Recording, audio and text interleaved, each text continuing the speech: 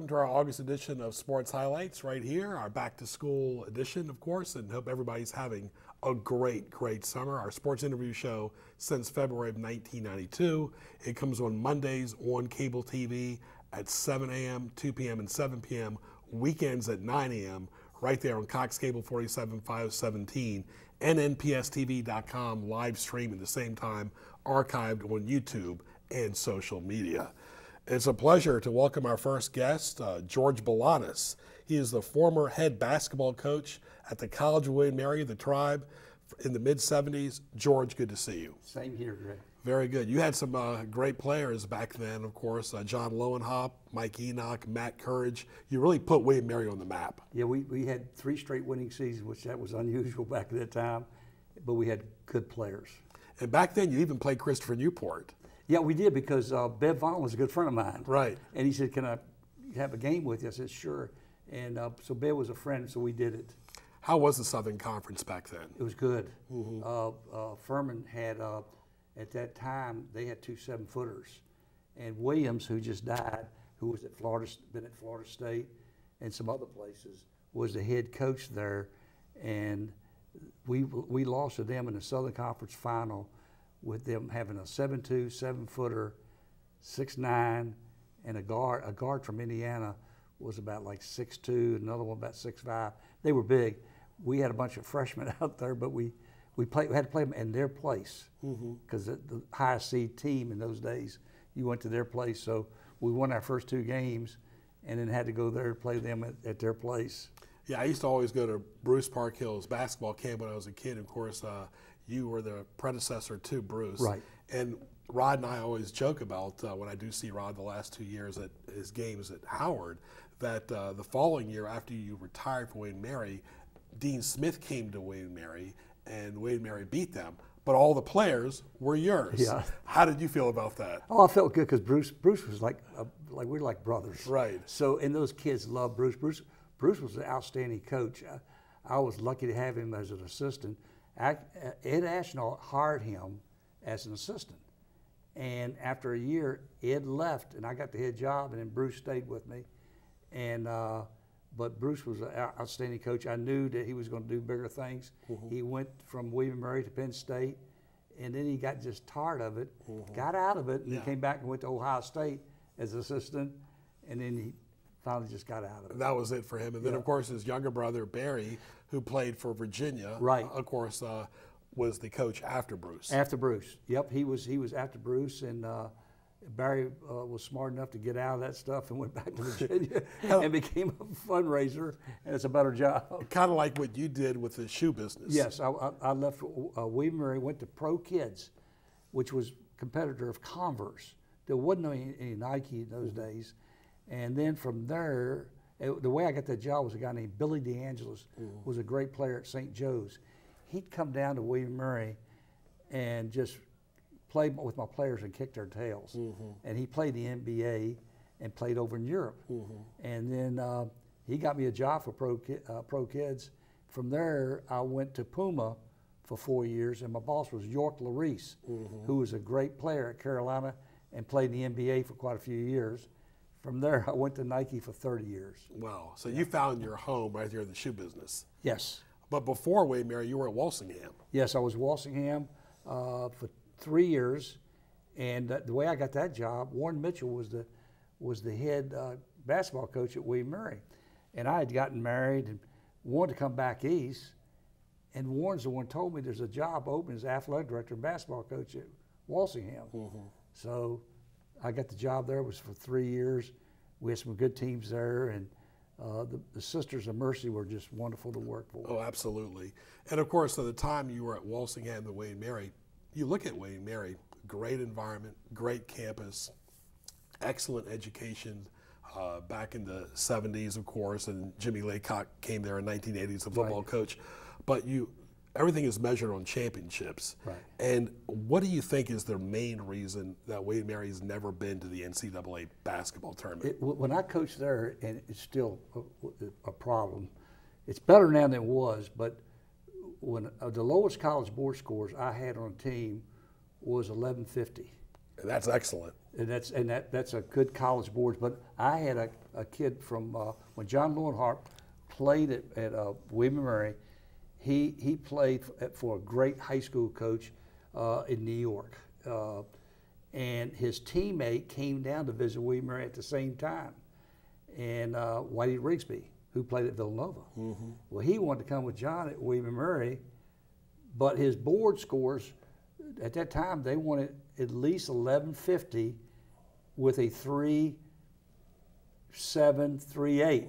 That was hard, and he was like he was really a smart kid, and he got scared and ended up going to Villanova and became a great player at Villanova. He would have been with that with with that team. There you go. And, my, and George Balanis is joining us with his time, talent, and treasure, the former head basketball coach for the tribe of William and Mary, of course. And we've done a lot of interviews over the years with William and Mary. But um, in my opinion, um, Lowenhaupt and Keith Cieplicki were the two biggest names in and Mary basketball from the 70s on. Right. The the top player, but he didn't finish. Right. Uh, was Ron Satterthwaite. Sure. He was a six man at DeMatha with Adrian Dantley, okay, who went to the pros, became Hall of Famer.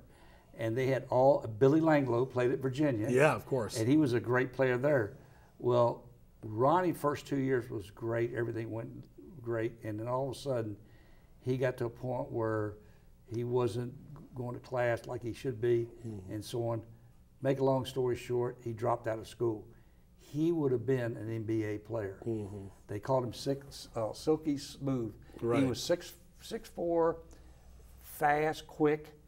Could I mean could do everything. Right, right. And if we'd have had him with th- those guys, we would have gone to NCAA. Yeah, and there was always a little rivalry up in the D.C. area, you know, with um, John Thompson and Morgan Wootten. There, there was no love Right. lost between those two. Right. Um, both of them have since passed on, of course, but they were great basketball players that came out of there. I mean, you remember Dereck Whittenburg, Sidney Lowe, Adrian Dantley. Adrian Dantley is one of the best players that Notre Dame has ever had. Oh, absolutely. You know, my son played at DeMatha. Right. For Morgan, and, and he when, when he went up there, it was, Morgan was a good friend of mine.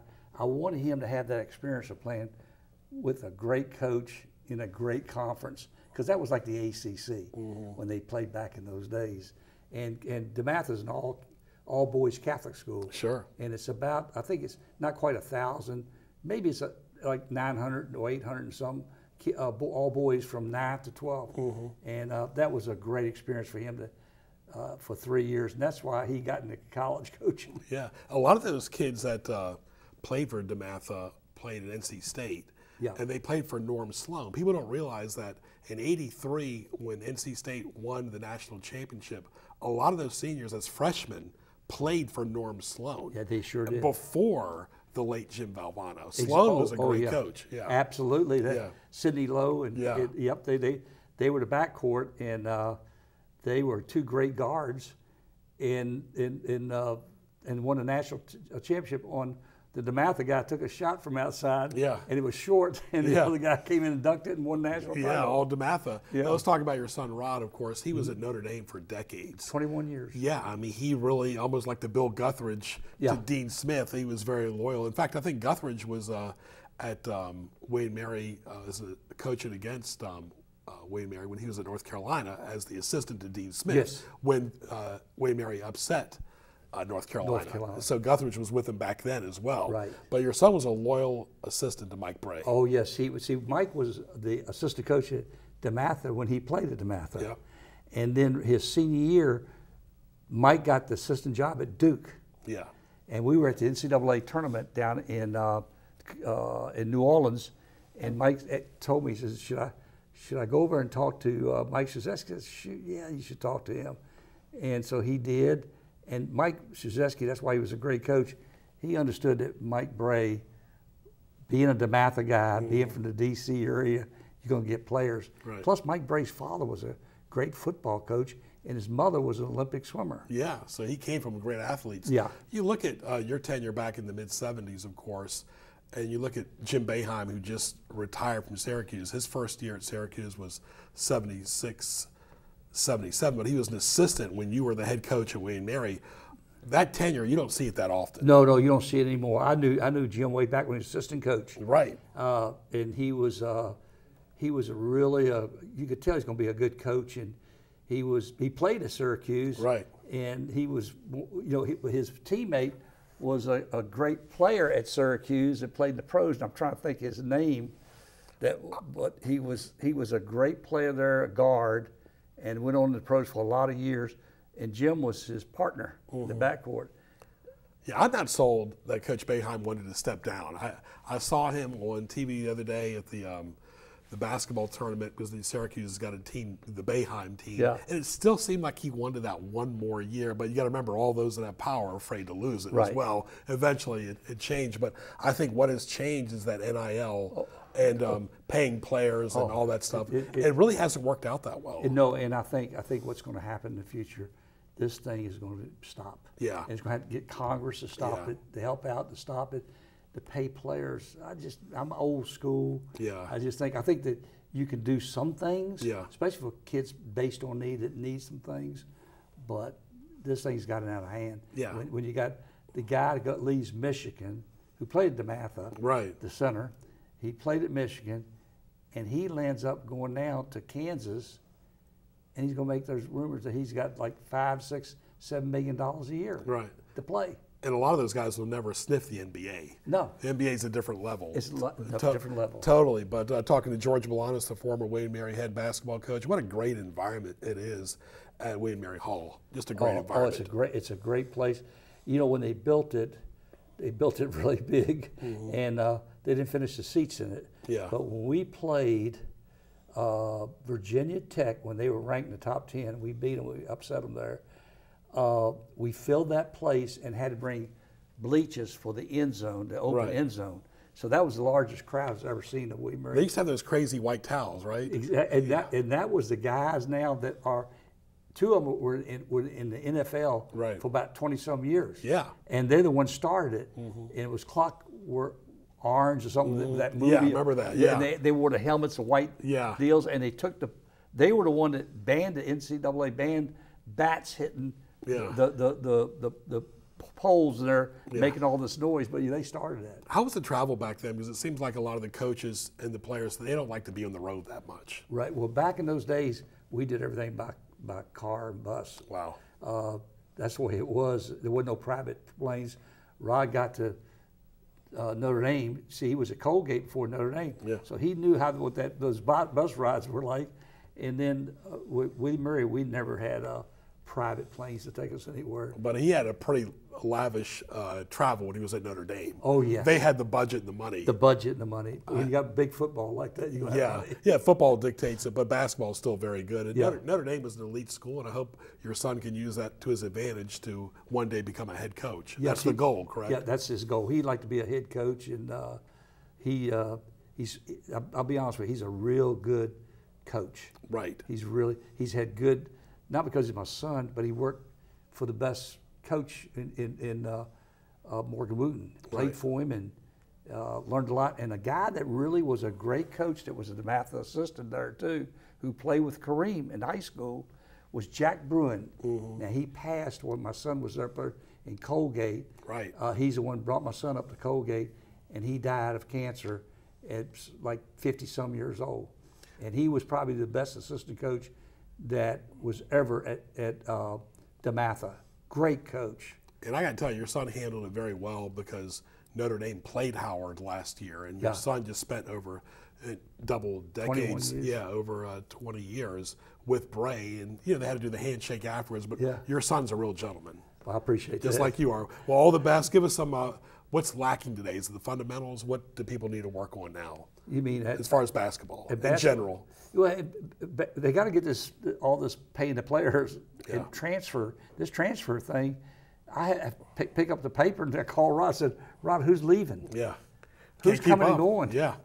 You have to look online. All the best, George. And, uh, Thank you so You are much. Greek heritage like myself. Thank you. Yeah, very appreciate good. it. All right. That was George Balanis, good friend of Nick Matthews as well. Uh, former Walsingham basketball coach in Williamsburg and also the former William Mary head basketball coach and also had a great shoe career as well. Stay tuned for our next guest as our August show rolls on.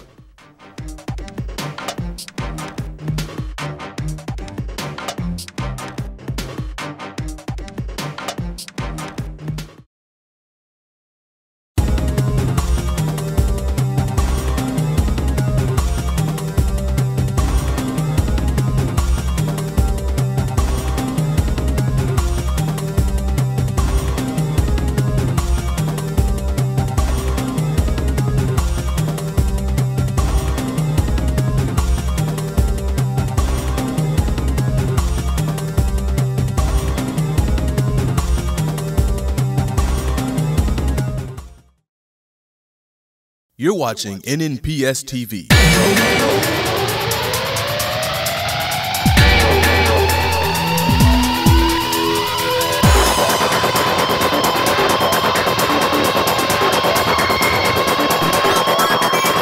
Catch sports highlights on Mondays at 7, 2, and 7, and on Saturdays and Sundays at 9 a.m. Visit us online at nnpstv.com to view all your favorite episodes. NNPS TV, watching education happen.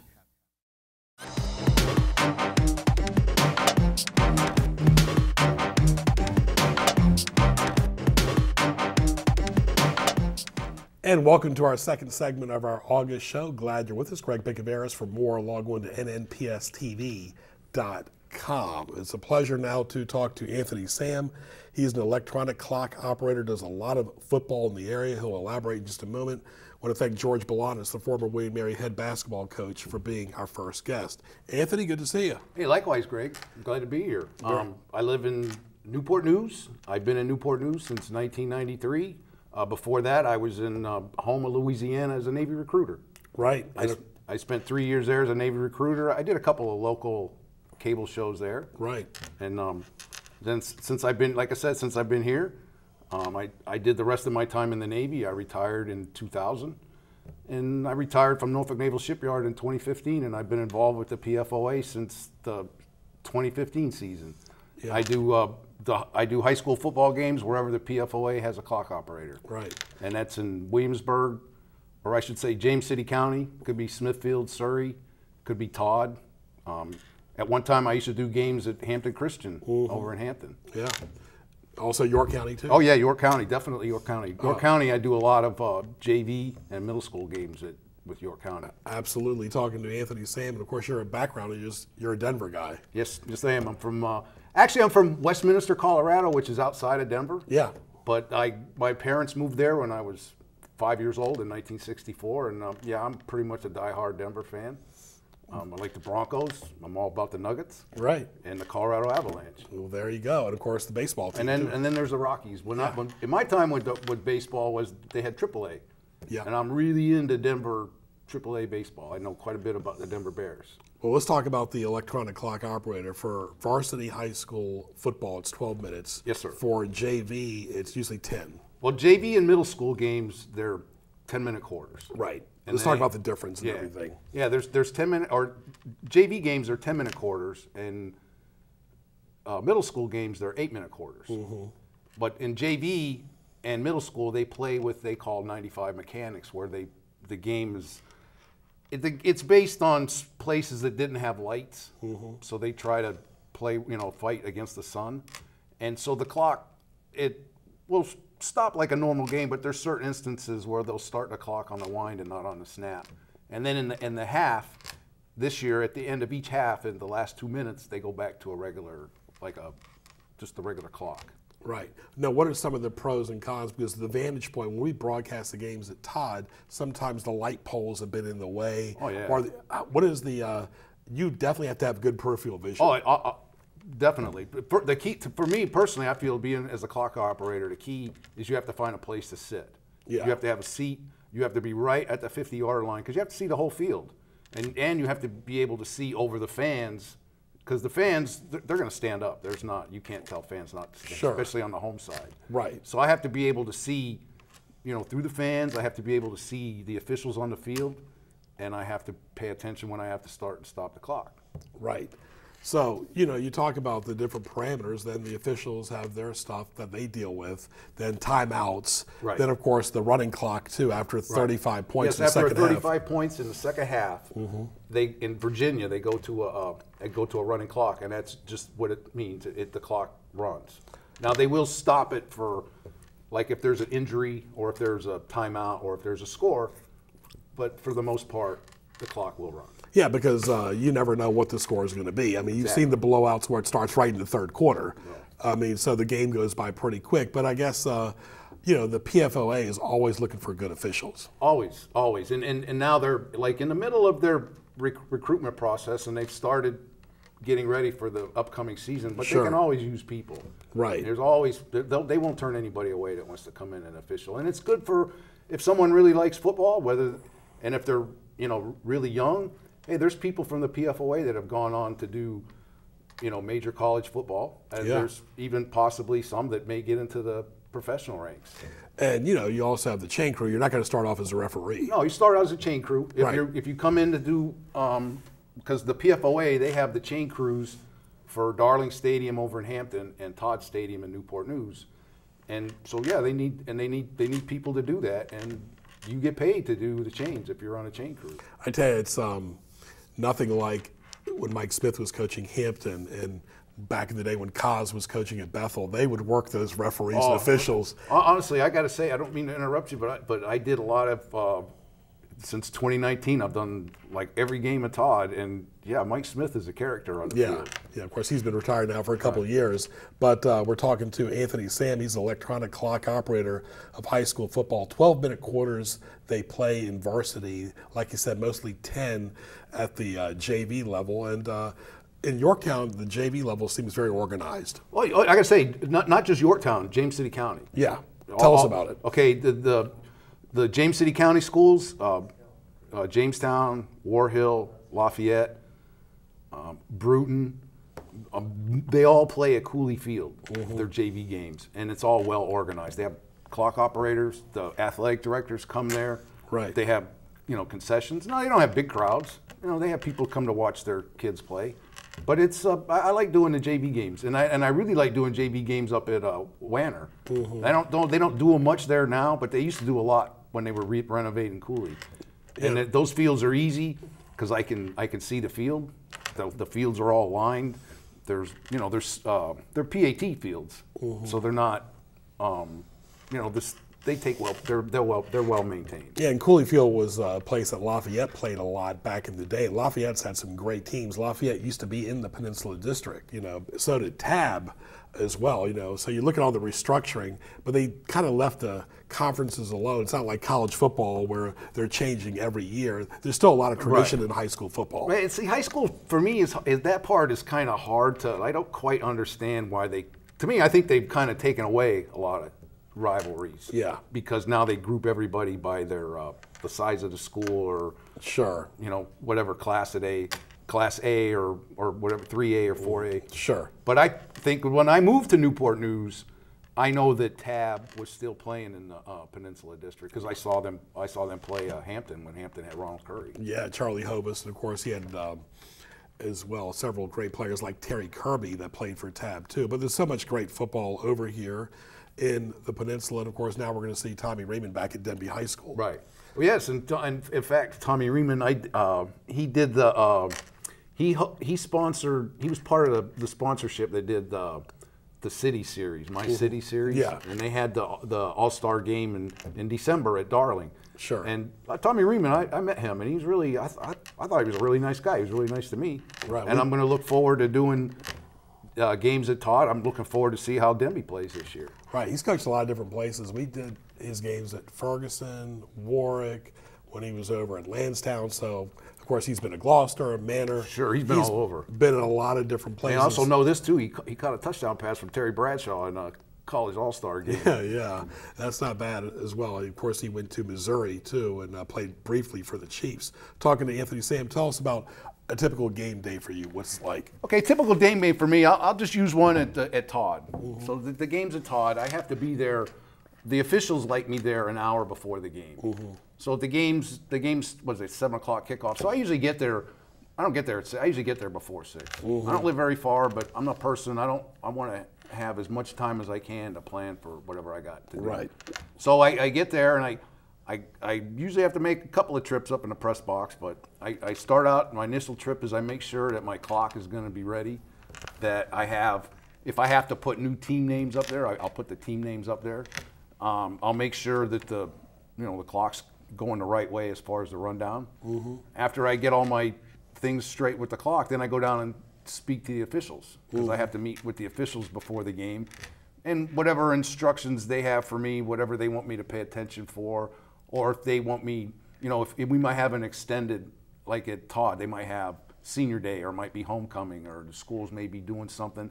So I have to know if there's going to be extra time on the clock either before the game or at halftime. So sometimes at halftime we got to do a 20 minute half. like when they have homecoming. So I, I go over all this with the officials prior to the game. And a lot of the Saturday games at Todd are during the day. Yes, so most of the games, in fact, the since 2019, I've I haven't done a game after four o'clock at Todd. Right. Or I mean, I should say that I've had a four o'clock game, but nothing later than than that. Yeah, back in the day when I was in high school, they would play Friday and Saturday night. And when I first moved here, yeah, they used to play double headers. Yeah, on Saturday night. But uh, you talk about uh, what advice would you give to somebody that wants to do this on the side, part time? well, okay, what I would first thing I would advise them to do is okay on from now until probably the 8th of August for sure is I would go show up at Liberty Baptist uh, Church in Hampton because that's where the PFOA meets on Tuesday and Thursdays. And I would go in and look for, I would ask either for a David Gear or a Steve Haygood, and they could find out all the information there. Or they could go online and look for the PFOA site, and, th- and that will tell them how to contact the PFOA. But that's the best way to do it is they have to come and contact someone because even I do. I have to I have to take a test to be a clock operator. Right. Um, You got to be alert first. well, that too, most important. Yeah, most I mean, important. But first, uh, I got to pass the test before Yeah, I can be alert. Yeah, exactly. Well, you never know what that test is going to have, but the test is just like we do on TV: show up on time and you know be prepared. That's half the battle. Because when you get there, you never know what's going to happen. But very good, Anthony. All the best to you, my friend. Electronic clock operator in high school football, but you've also done JV in other schools as Yes, well. sir. Thank you so much. All the best to you. Hey, thank you. It was a pleasure to be on the show. Very good. My pleasure as well. I want to thank our great guest today, George Balanis, the former Wayne Mary head basketball coach in the 70s. Also, Anthony Sam, electronic clock operator, originally from the Colorado area. And he does, of course, high school football and our great crew here on our back to school special. Hope everybody's had a great summer. And this is our August 2023 edition of Sports Highlights. For more, log on to nnpstv.com. For Ray Price's great crew, I'm Greg Picaveras. We'll talk to you soon.